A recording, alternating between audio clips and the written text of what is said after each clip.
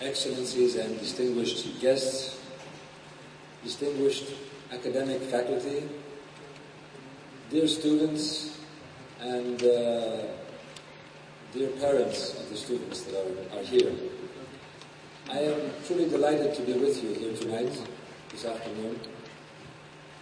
And it is not only an honor, but uh, I would say a duty after having been elected by you with such a large majority.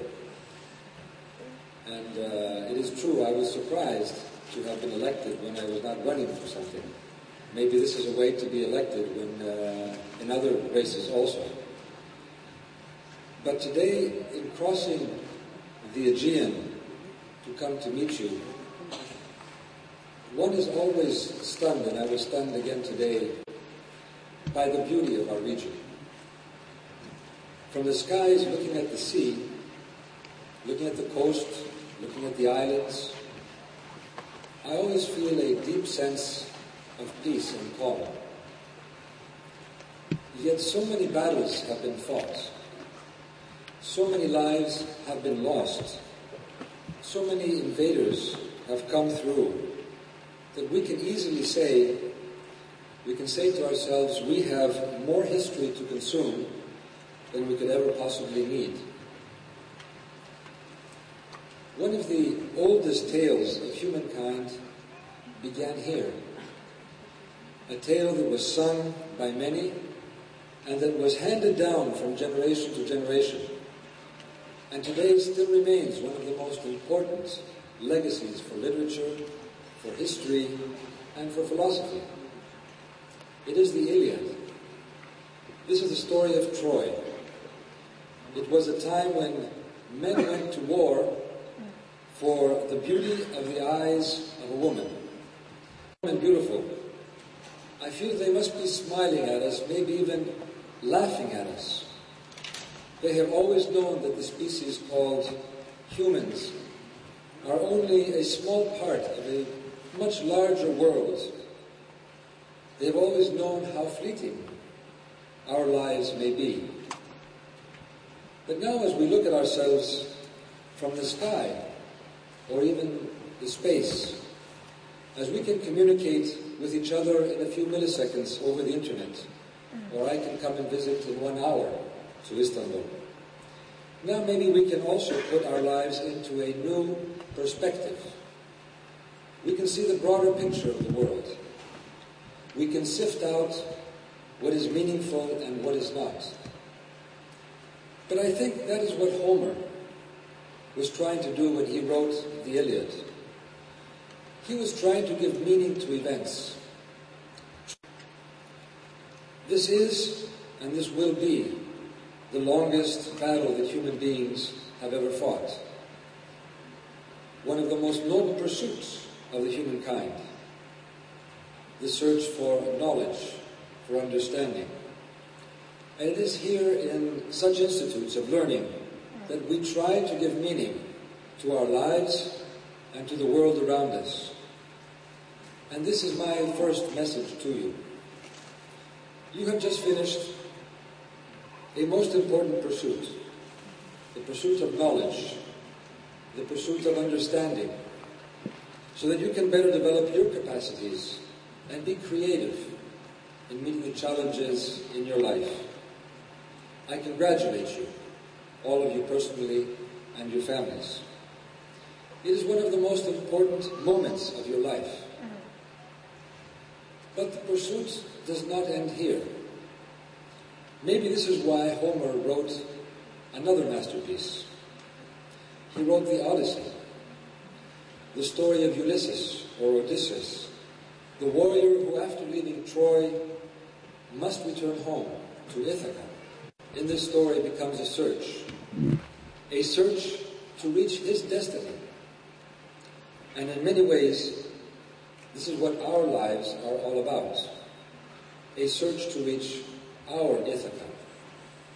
Or maybe a continual search for never ending Ithacas, as so many young people love to do on the Greek islands, hopping from one island to another, each time discovering something new, something beautifully strange, something mag- magical, new challenges at every port they arrive at, having been put in jail for their political beliefs. When I then went to four different high schools and three different universities from Sweden to Canada to the United States to Europe, I had begun my odyssey. I also was in search of my Ithaca. Yet never, not once, did it cross my mind that one day I would be standing here in front of you, a Greek, speaking to the graduate class of Sabancı University in Turkey. You also today, after getting your, when you feel insecure, facing a new challenge, don't panic. Don't let your irrational take over. Define what is rational and what is irrational. What is worthwhile and what is not. And that way, for Europe, for Turkey, for Greece, do we have common destinations? Can we create them? Do we want to? Comparison with Sabancı University. What is a university? It's buildings, yes, and congratulations. It is, in fact, basic values and methods. As a matter of fact, even as sciences continue to develop and change in new areas, new presidency of the European Union, in 2003, we asked ourselves, what is Europe? Encapsulate and summarize what Europe was. A Europe that was enlarging, expanding, a Europe that was becoming ever more diverse. And we asked ourselves, is Europe a group of different peoples? Yes, Europe is also a group of different peoples. Is uh, Europe a region with common history? Possibly, if you interpret history in that way. The European Union. So, we had as Greeks, we called our presidency Our Europe. And underneath, saw as leader of Europe a community of values. After wars, after war, different values. More rational, more humane, more secure, more free. Religion, national background, the differences that we brought to war. And so the principles that developed as our core values were peace, national law, good neighborly relations, respect of borders, respect of democratic or one country to dominate by using unfair practice and environmental So I see the crisis we face in Europe today. Not investing, we are investing too little in our values. We are not investing too much in our values.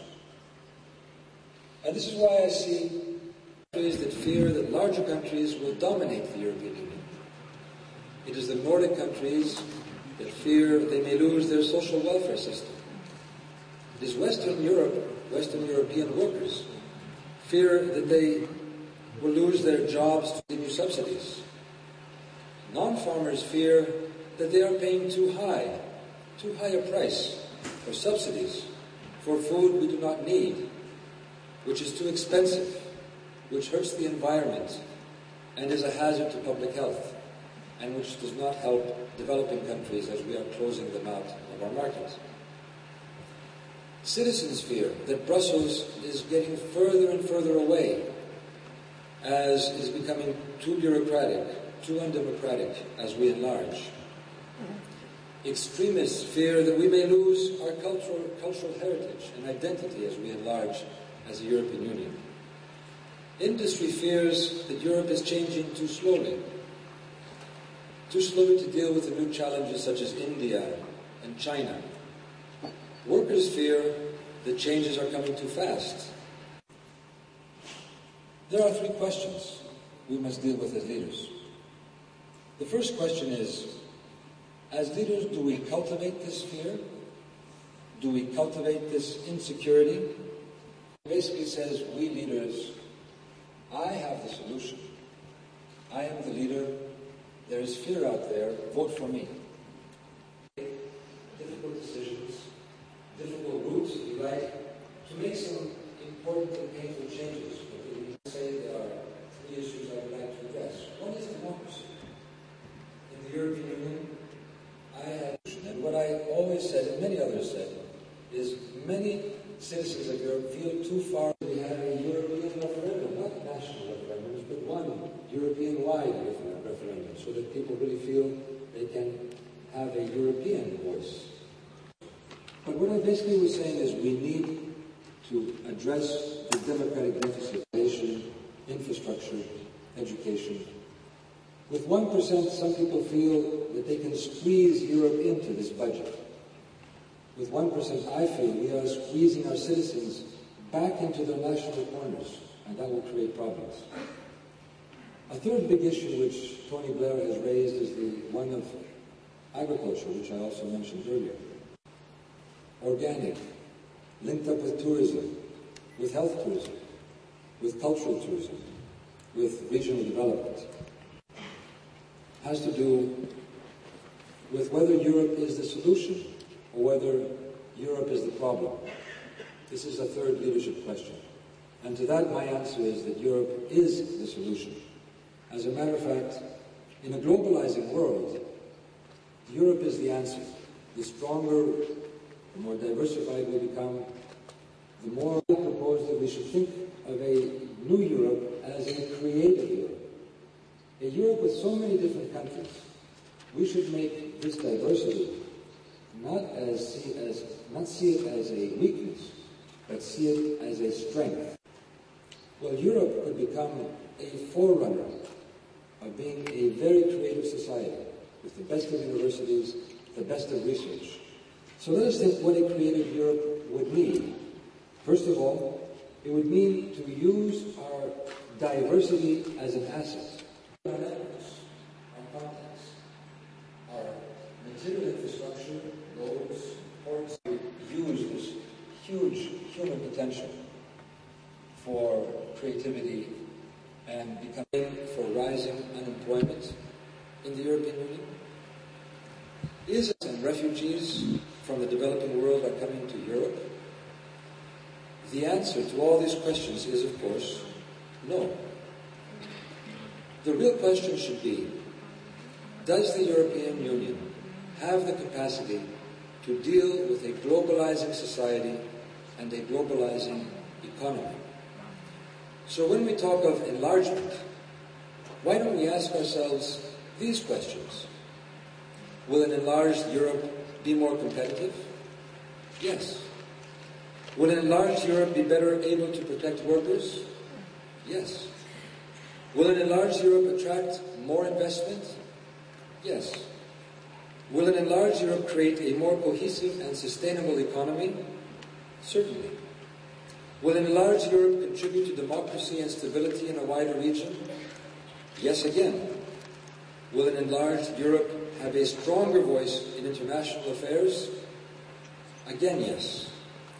Will an enlarged Europe play a more assertive role in global issues such as climate change, poverty, GMOs, cultural dialogue, and cultural partnership? The answer to all these questions is yes an enlarged Europe will have positive advantages in dealing with all these issues. It will be positive for all Europeans. But let's focus a little bit on our neighborhood. Southeastern Europe, still struggling to shake off the effects of violent and turbulent history, divisions. Ensuring the European Union's stabilizing influence in the Western Balkans, as difficult talks on Kosovo and its future status begin, this is vital to our security. If Europe were to say no to enlargement, to the enlargement strategy, the consequences for Southeastern, Southeastern Europe would be disastrous. Enlargement is and will be an investment for our regional stability. The fact that the EU enlargement has been a real success story we can see in Central and Eastern Europe. it has been the most important incentive for growth, democracy, and stability. I'll give you an example. When Estonia and Hungary started attracting a lot of foreign investment in the 1990s, journalists stopped referring to these two countries as weak economies with institutional difficulties. And they began writing about the Central European tigers. And that made a big difference in their accession prospects. Instead of being viewed as potentially unstable countries that needed the EU to remain stable, Central and Eastern Europeans could argue that they have actually contributed to the dynamism of the European Union. And this is the role Turkey could play in the coming years. And I am convinced that Turkey needs Europe, but Europe also needs Turkey. Welcoming Turkey into our union will send a positive message around the world. Certainly a message in a very critical time that a country whose majority is Muslim can become a model democratic European country, easing tensions between Christianity and Islam, which is very important for Europe, very important for Europe, which has a very vibrant Muslim community. Turkey's integration into Europe can counter and be a counterweight to fundamentalism, which often brings extreme acts. And this kind of a model can be a very important model for the world. I just came from a visit from the Ecumenical Patriarch, and I believe that this European model, with its small Greek minority who live here in Istanbul as Turkish citizens, they pose no threat to Turkey. In fact, the Patriarch is one of the most avid supporters of Turkey's European prospects. I know wherever he goes, he is a strong supporter for Turkey's accession. So I believe that this very important step in Turkey's European direction would be for Turkey to recognize the Ecumenical Patriarchate, reopen the Theological School of Halki and respect their rights. Can you imagine the symbolism of a Muslim country that embraces the Mecca of Orthodox Christianity. And the real candidacy of unstable countries that needed the EU to remain stable, Central and Eastern Europeans could argue that they have actually contributed to the dynamism of the European Union. And this is the role Turkey could play in the coming years. And I am convinced that Turkey needs Europe, but Europe also needs Turkey. Welcoming Turkey into our union will send a positive message around the world. Certainly a message in a very critical time that a country whose majority is Muslim can become a model democratic European country, easing tensions between Christianity and Islam, which is very important for Europe, very important for Europe, which has a very vibrant Muslim community. Turkey's integration into Europe can counter and be a counterweight to fundamentalism, which often brings extreme acts. And this kind of a model can be a very important model for the world. I just came from a visit from the Ecumenical Patriarch, and I believe that this European model, with its small Greek minority, who live here in Istanbul as Turkish citizens, they pose no threat to Turkey. In fact, the Patriarch is one of the most avid supporters of Turkey's European prospects. I know wherever he goes, he is a strong supporter for Turkey's accession. So I believe that this very important step in Turkey's European direction would be for Turkey to recognize the Ecumenical Patriarchate, reopen the Theological School of Halki and respect their rights. Can you imagine the symbolism of a Muslim country that embraces the Mecca of Orthodox Christianity? And the real candidacy means that Turkey can hope to become a full member of the European Union with all the rights and responsibilities this brings, as long as it meets all the conditions for membership. And this position remains unchanged. But why is Greece such a staunch supporter for Turkey's membership? Why do we support Southeastern Europe's entry into the European Union? I have felt, and we in Greece believe, that our long lasting problems can be solved in a new framework, one where we will respect borders, but where borders will become less relevant, I would say almost irrelevant in our daily lives, as we, it's almost like getting on a bus when you go from Athens to Munich. No passports, no borders.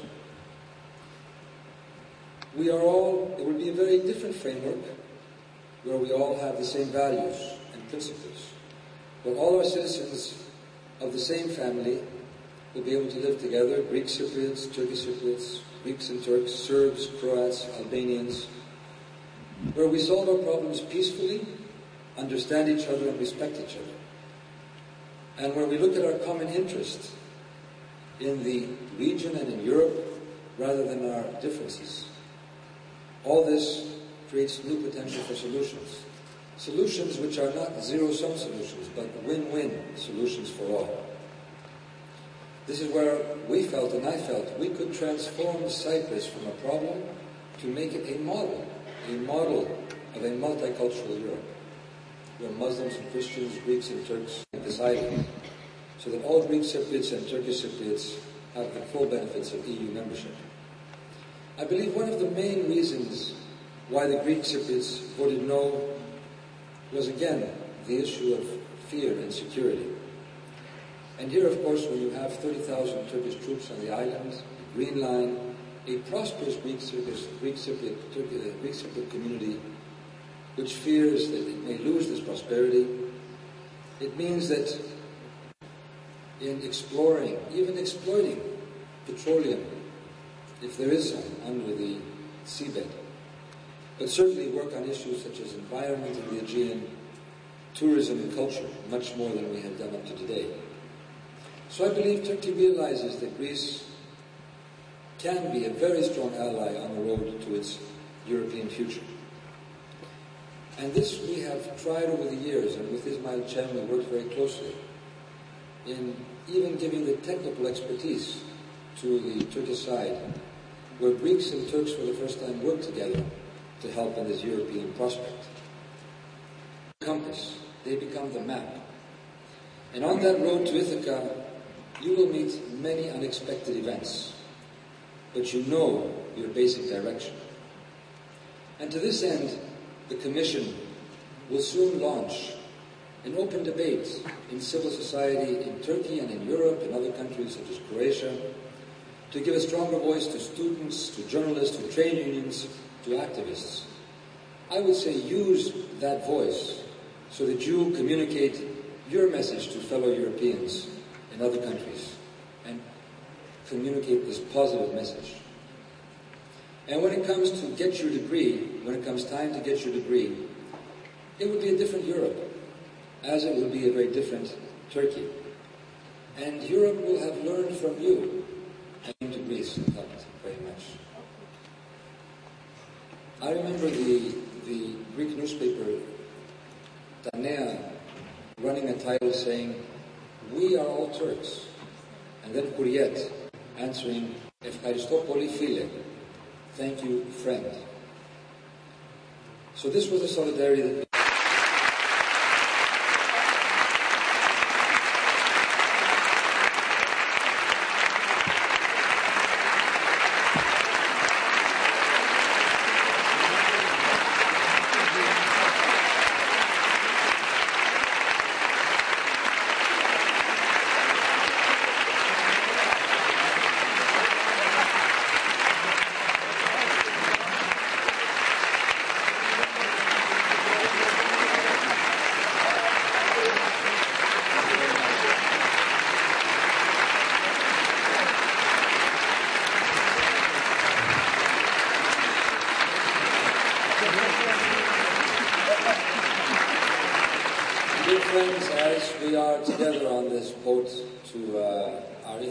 I have a small gift for Mrs. Sabancı uh, to symbolize this road to peace.